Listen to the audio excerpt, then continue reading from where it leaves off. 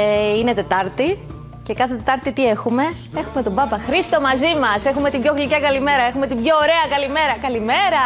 Αχ, καλημέρα, καλημέρα, καλημέρα σε όλο τον κόσμο. Καλημέρα, Ελπίδα. Καλώς το. Όμορφη μέρα, κάθε μέρα. Τι ωραίος τίτλος αυτός. Μου αρέσει και ο τίτλος πολύ της εκπομπής. Πείτε μου τα νέα σας, τι κάνετε, πώς είστε; Σήμερα έχει ήλιο αλλά κρύο πολύ. Γύρω γύρω τα βουνά της Θεσσαλονίκης έχουν χιονάκι. Το τελευταίο μάλλον χιονάκι πριν να έρθει καλά η Άνοιξη. Αλλά είμαστε καλά, είμαστε πολύ καλά. Χθες Γιορτινές μέρες, γιορτινές μέρες, οπότε Ακριβώς. μες στις γιορτές. Είδα και μία φωτογραφία χθες από το Λευκό τον Πύργο και πραγματικά ε, είχα κάτι ενθουσιαστεί. Έτσι, γιατί γίνονται διάφορα τώρα όσα επιτρέπονται βεβαίως για τον εορτασμό των 200 χρόνων από την Ελληνική Επανάσταση. 1821-2021. Ναι.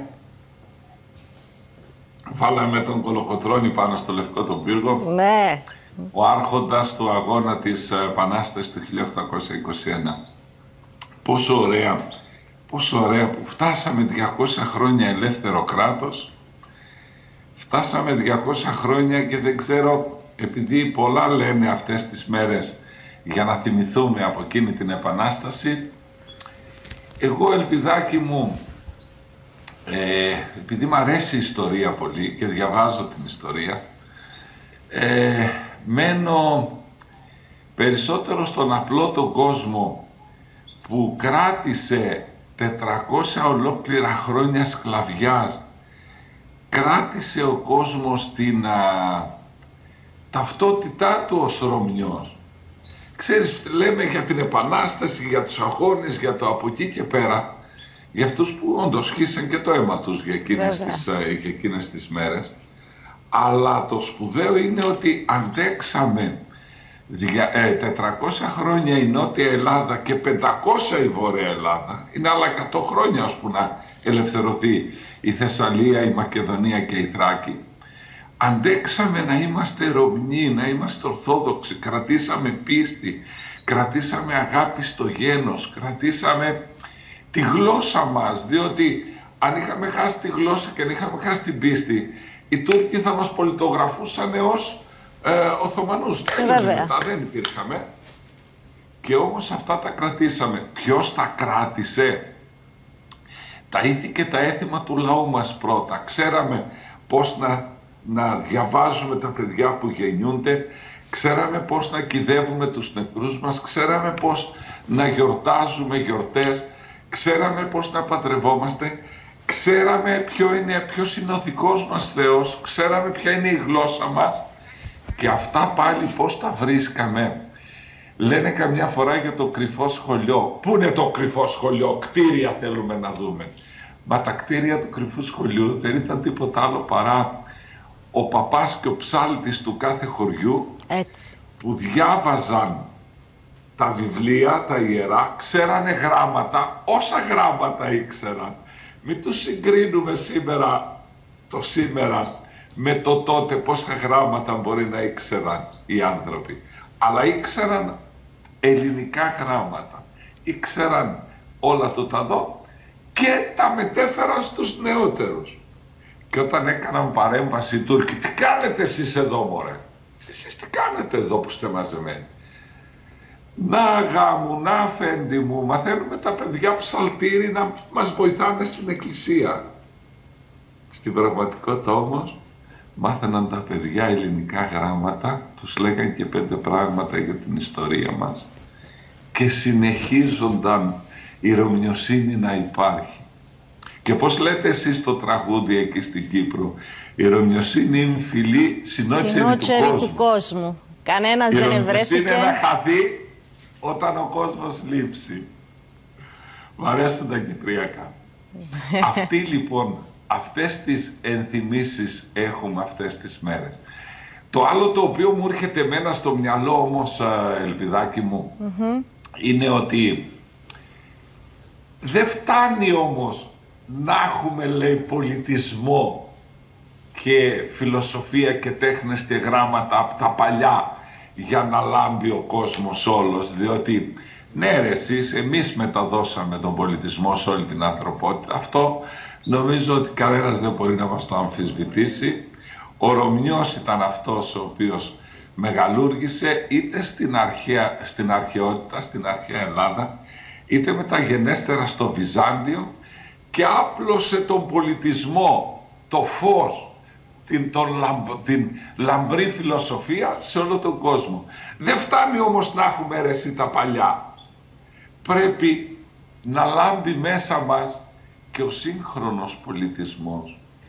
Να έχουμε και σήμερα ψηλά τη σκέψη μας, τη φιλοσοφία μας, τον τρόπο ζωή, τη δημοκρατία μας, να την έχουμε ψηλά, να έχουν ίδια δικαιώματα όλοι και ο γιος του Προέδρου της Δημοκρατίας και ο γιος του τελευταίου εργάτη να έχουν τα ίδια δικαιώματα αλλά και τις ίδιες υποχρεώσεις όπου χρειαστεί.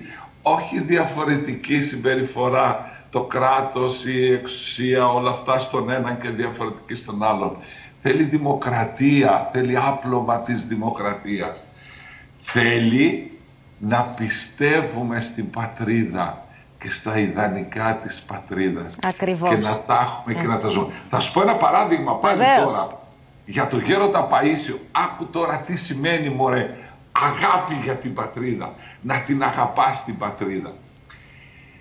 Είχαν πάει μια παρέα παιδιών στο γέροντα και τους μιλούσε για την Αγία Σοφιά, τους μιλούσε για όλα αυτά, τους μιλούσε για την Ορθοδοξία, τους μιλούσε για το μεγαλείο του Βυζαντίου και άκουγαν τα παιδιά. Αλλά τους το σφράγισε ο ίδιος όμως μετά με τα παραδείγματα της ζωής του. Πρώτον, ο Γεροπαΐσιος δεν εξαφανίστηκε ως μοναχός στο όρος και ξέχασε την πατρίδα. Πήγε φαντάρος τέσσερα χρόνια. Βρέθηκε σε πολέμου. Ναι. Τέσσερα χρόνια. Τέσσερα, τέσσερα, τέσσερα χρόνια ήταν φαντάρος. Και πολέμησα λέει για την πατρίδα. Και μάλιστα έπαθε και η υγεία του από αυτές τις, από αυτές τις καταστάσεις. Και ο ίδιος μίλαγε με πολύ, πολύ ζωντάνια για τα, για τα ιερά και τα όσια της πατρίδας μας. Και όταν χρειάστηκε μια φορά να δείξει το παράδειγμά του, είχε ένα δεματάκι, λέει, να το δώσει, να το στείλει κάπου εδώ στη Θεσσαλονίκη. Και όταν ρώτησε τα παιδιά, εσείς παιδάκια μου από πού είστε από τη Θεσσαλονίκη; γέροντα. Αχ λέει αυτό το δέμα, αυτό το δεματάκι μπορείτε να το πάτε για δέστε είναι μακριά ή κοντά εκεί που μένετε, το παίρνουν τα παιδιά βλέπουνε, αχ λέει γέροντα κοντά σε μένα, 40 κλεισές εκεί μένω κι εγώ. Ε θα το πας παιδάκι μου, ναι γέροντα. Και τι κάνει ο γέροντας τότε, πάει μέσα στο κελάκι του, ναι. γυρίζει, φέρνει ένα, μια πλάκα από γραμματόσημα και αρχίζει και τα κολλάει πάνω στο δέμα. Του λέει γέροντα, θα το πάμε στο ταχυδρομείο να το ρίξουμε ή θα το πάμε στο σπίτι που σας είπαμε στη διεύθυνση. Ε ρε παιδιά, αφού μου είπατε στη διεύθυνση είναι κοντά. Ε, τότε ρε γέροντα, γιατί βάζεις τα γραμματόσημα πάνω; Και η απάντηση ενός ανθρώπου που πονάει την πατρίδα του. Θα τα βάζω παιδάκι μου, γιατί η Ελλάδα μας είναι η μάνα μας, είναι η πατρίδα μας. Δεν πρέπει να τα γλιτώσω εγώ αυτά επειδή θα πάνε με τα χέρια σας. Αυτός σημαίνει αγαπάω την πατρίδα. Και ο Χαζούλης ο Παπαχρίστος που σας μιλάει, όταν ήρθε η ώρα μου πήγα στο στρατό, δεν τη γλίτωσα, γιατί μπορούσα ως υποψήφιος παπάς να στείλω ένα χαρτάκι ότι εγώ θα ιερωθώ και να μην πάω στο στρατό. Και στο στρατό πήγα και 18 μήνες υπηρέτησα και στα τεθωρακισμένα πήγα και να σου πω και κάτι ελπιδάκι μου τώρα. Να μου πείτε. Βρέπομαι, αλλά θα το πω όμως. Έστειλα ένα γράμμα στο ΓΕΣ και σας το λέω τώρα και το λέω και δυνατά να τα ακούσουν. Ή τους είπα ότι αν χρειαστεί σε επιστράτευση να καλέσετε διάφορους να υπηρετήσουμε ξανά την πατρίδα γιατί μπορεί να είναι δύσκολα τα πράγματα ο Παπαχρίστος είναι έτοιμος να μην κοιτάξετε τα χρόνια που γράφει πάνω στο χαρτί επιστράτευση και μου πείτε είσαι, είσαι μεγάλης ηλικίας κατσαπόξο. Όχι, εγώ θέλω να πάω, αν η πατρίδα χρειαστεί παλικάρια, γέρικο αλλά παλικάρι όμως, στην καρδιά. Παλικάρι στη ψυχή, στη ψυχή, αυτό. Παπαχρίστο μου. Ε, ναι, έτσι να, να τιμάμε αυτές τις μέρες που είναι σπουδαίες μέρες, 200 χρόνια από την Επανάσταση. Αυτή η Επανάσταση έδειξε σε όλο τον κόσμο ότι δεν μπορεί να σβήσουν ούτε οι λαοί, ούτε οι ιστορίες, ούτε τα ιερά, ούτε και τα όσια, αν τα έχουμε μέσα στην καρδιά μας και αν τα έχουμε μέσα στο μυαλό μας. Αν έχουμε την πατρίδα μέσα και όχι να υπάρχει η πατρίδα για να την αρμέγουμε εμείς. Όχι, τότε είμαστε οι χειρότεροι εχθροί της πατρίδας. Η πατρίδα να υπάρχει για να μεγαλουργεί. Η πατρίδα να υπάρχει γιατί τούτη η πατρίδα καλείται να φωτίζει σε όλο τον κόσμο. Αξίες, αρχές, τέχνες, γράμματα, φιλοσοφία τρόπος ζωής. Ακριβώς. Εμείς ξέραμε να ζούμε και από την αρχαία Ελλάδα και από την εποχή του Βυζαντίου και της Ρωμιοσύνης εμείς ξέραμε να φτιάχνουμε παρτενώνες, αγιασοπιές, να, να, να δίνουμε την πολιτεία του Πλάτωνα, να δίνουμε τι είναι δημοκρατία, να δίνουμε τι σημαίνει άνθρωπος.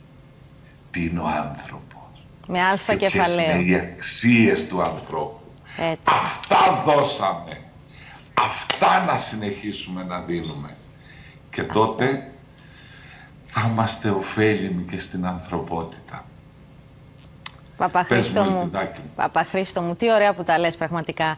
Είμαστε υπερήφανοι, νιώθουμε υπερήφανοι που είμαστε Έλληνες, που είμαστε χριστιανοί Ορθόδοξοι, έτσι.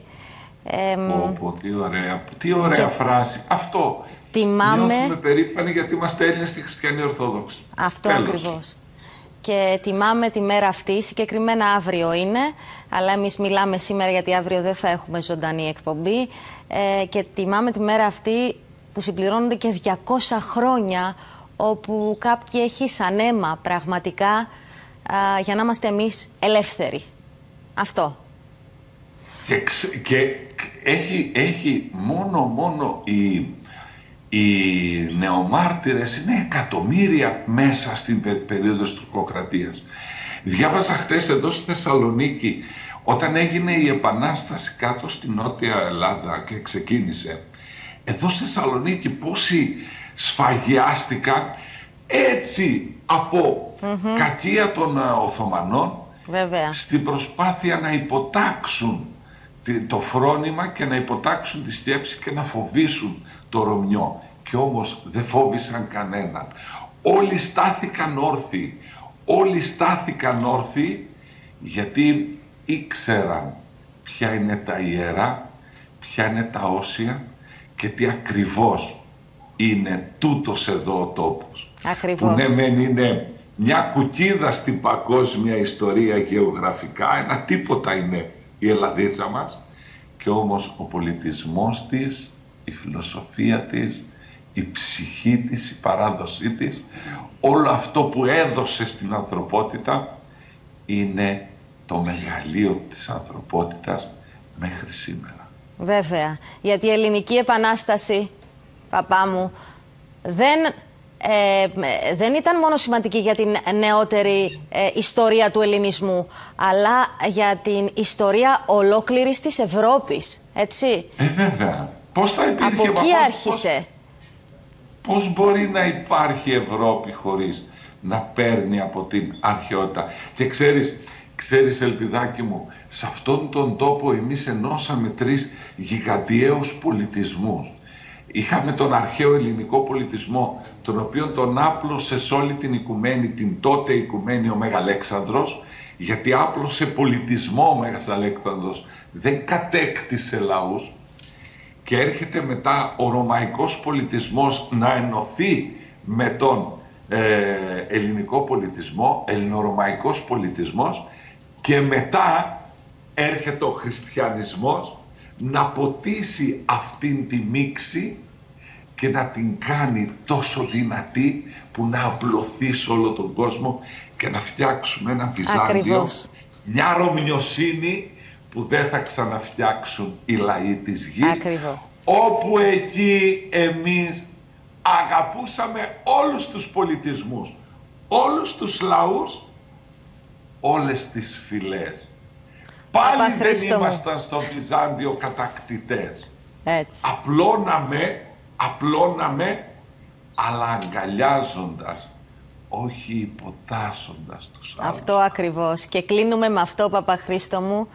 Σε ευχαριστώ πάρα πάρα πάρα πολύ. Ξέρεις πόσο μας αρέσει ε, να συνομιλούμε και να σας ακούμε. Να πούμε τώρα, Χρόνια να πούμε πολλά. Τώρα ότι, να πούμε τώρα ότι την άλλη Τετάρτη Βεβαίως. θα μπορούσαμε να πούμε πράγματα για την Παναγίτσα μας και γιατί αύριο γιορτάζει και η Παναγίτσα και το αφήσαμε για την άλλη φορά αλλά και γιατί έχουμε τους χαιρετισμούς κάθε Παρασκευή στην Παναγίτσα. Χρόνια πολλά ελπίδα μου, χρόνια, Χρόνια πολλά, πολλά. Κύπρος, χρόνια πολλά στον ελληνισμό, χρόνια πολλά στην ανθρωπότητα. Να μαθαίνουμε για να είμαστε τρισευτυχισμένοι. Σας αγαπάμε, σας αγαπάμε. Αγαπώ Κύπρο. Την αγάπη μας. Γεια σας. Να είμαστε καλά. Γεια σας.